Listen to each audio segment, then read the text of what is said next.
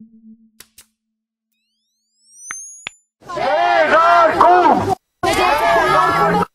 մի բան չեմ լսում։ Դուք պաշտպանության Հա։ հասարակությունի անդամ եք։ Այո, գիտեմ։ Ակցիայի մասնակիցների պահանջների վերաբերյալ ինչ կասեք։ Երեք ռազմական դրություն անելու հարցը նաև հանձնաժողովը քննարկեց։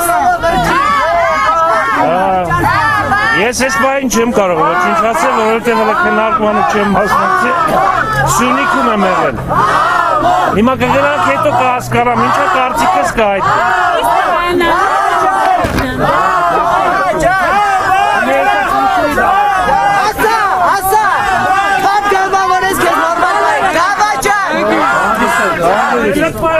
Հավարջան! Հավարջան! Դու խոմ ես արիս տեղ խոսա, ոսի կաներ եկելից մի խոսա։